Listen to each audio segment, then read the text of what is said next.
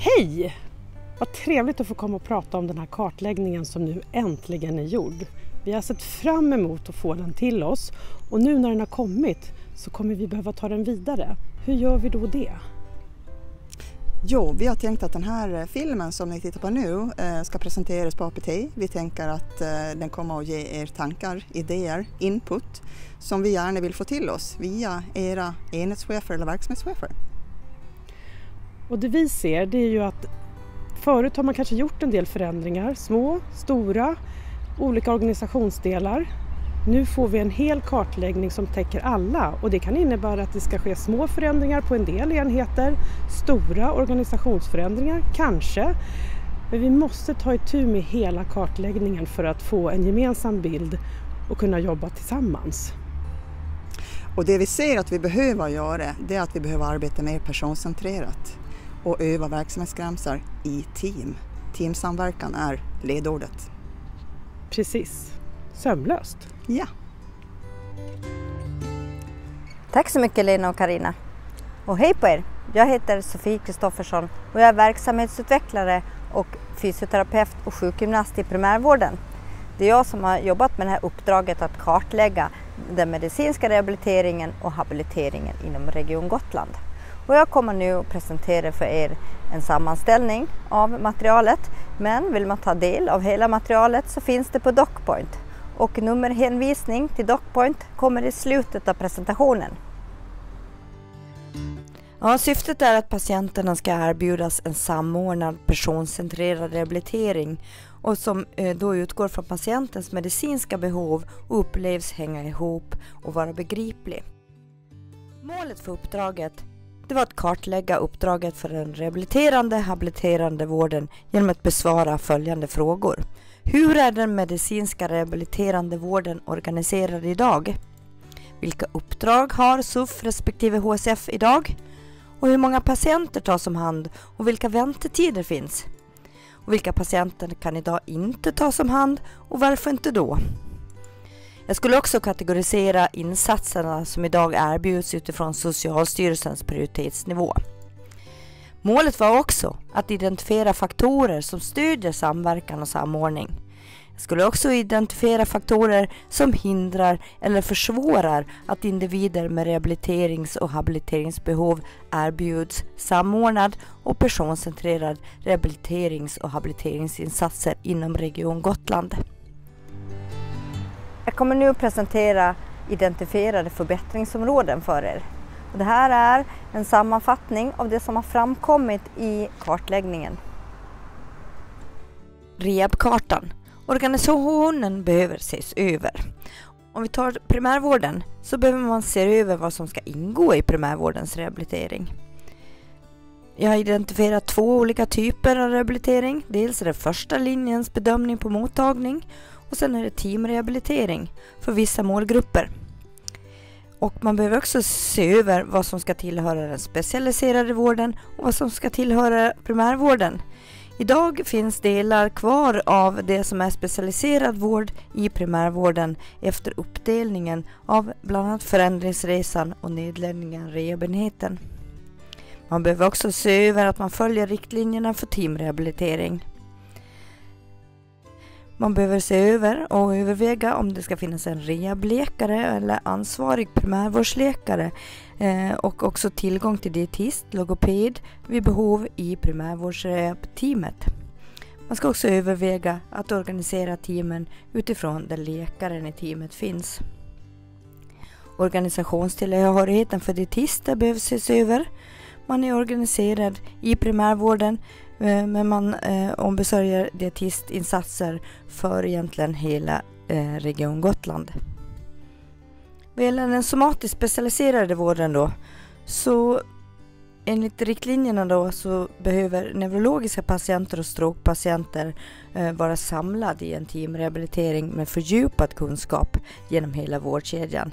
Man ska se över att man följer riktlinjerna, bland annat med det som idag kallas för tidig understödd utskrivning från sjukhus till hemmet. Med gäller hemsjukvårdens rehab då, då behöver man överväga att ändra utgångspunkten för rehabilitering och habilitering i hemmet. Eh, utgångspunkten bör vara personcentrerad rehabilitering och habilitering. Rehabilitering bör ske där det gagnar patienten bäst. Man också behöver se över att rehabilitering på mottagning, på korttidsenhet, på särskilt boende, i ordinärt boende erbjuds på samma sätt. Inom psykiatrin så saknas det idag, eller finns inte tillgång till fysioterapeut i teamet på BUP. Och man behöver se över processkartorna som finns inom vuxenpsykiatrins öppenvårdsmottagning så att det står tydligt där var i processer arbetsterapeuter och fysioterapeuter kommer in. Är det utredning, är det behandling med mera. För habiliteringen då så behöver man se över det gap som idag finns mellan habilitering, psykiatri, primärvård. Det pågår ett förbättringsarbete inom habiliteringen men förbättringsarbetet behöver göras utifrån Eh, en övergripande samsyn. Man ska också se över den organisatoriska tillhörigheten för habiliteringen och psykiatrin där man har gemensamma patienter. Man ska också ta tillvara på habiliteringens erfarenheter och kunskaper för teamrehabilitering med samordning och specialiserad fördjupad kunskap i team för de patienterna som habiliteringen eh, erbjuder habiliteringsinsatser för. Man ska också överväga att det finns tillgång till habiliteringsläkare i vuxenhabiliteringsteamet. Man behöver tydliggöra uppdragen för att få en sammanhållen och sömlös rehabilitering. Eh, det behöver finnas ett gemensamt ansvarstagande eh, så att vården blir sammanhållen och sömlös. Eh, man ska inte jaga skarpa gränser i de gråzoner som finns utan man ska skapa samsyn och en gemensam värdegrund. Eh, uppdragen ska vara i synk med varandra God kontinuitet och fast vårdkontakt är en viktig förutsättning. I den dokumenterade överenskommelsen, det så kallade patientkontraktet, så ska en fast vårdkontakt anges.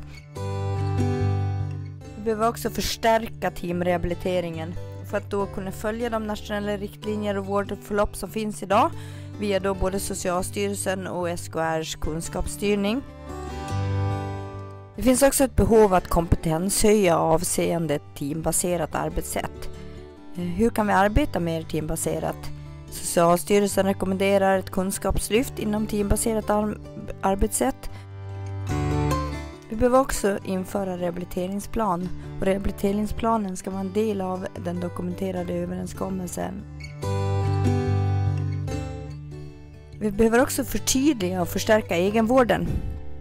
Enligt Socialstyrelsen är egenvård den vård som är närmast patienten och egenvård anses som en åtgärd som ordineras av hälso och sjukvården. Och det ska vara väldokumenterat och den ska följas upp. Vi behöver också få en generell attitydförändring och en gemensam värdegrund. Rehabiliteringen är en underutnyttjad resurs som ska användas på rätt sätt. Det ska inte vara så att man behöver veta exakt var man ska vända sig, varken för remittent eller för den person som söker rehabiliterande vård, utan det ska finnas en gemensam mottagare. Vi behöver också säkerställa att eh, det finns eh, kunskap, forskning och utveckling fortsatt. Det pågår ett viktigt arbete med implementeringen av kunskapsstyrningen, eh, de kliniska kunskapsstöd som finns. Och för att främja eh, god kvalitet och fortsatt förbättring och utveckling så behöver man genomgående använda KVH-koder för att kunna jämföra eh, nationellt och följa kvaliteten och kunna få se då över förbättringsområden. Och för att hålla god kvalitet och säkerställa att vårdförlopp följs samt att utveckling och förbättring sker kontinuerligt inom det rehabiliterande och habiliterande området så behövs en samordnande funktion för forskning och utveckling alternativt medicinsk ansvarig för rehabilitering. Vi behöver också förstärka det hälsofrämjande arbetet och förebygga ohälsa inklusive fallprevention. Idag så finns det inte en strukturerad fallpreventiv eh, insats i primärvården. Det har upphandlats en kommunikationsplattform och det är en viktig förutsättning för att skapa förutsättningar för samordning eh, och det kommer göra skillnad. all medicinsk vård bör skrivas i ett och samma journalsystem. Det pågår ett uppdrag med detta. Det behövs också en, ett konsensus om vilka bedömningar, funktion och aktivitet som behövs och vilka instrument som kan användas för att kunna eh, gälla som underlag till olika intyg. Jag vill också passa på att rikta ett stort, stort tack till alla som har varit delaktiga i den här kartläggningen. Tack, det har varit mycket värdefullt.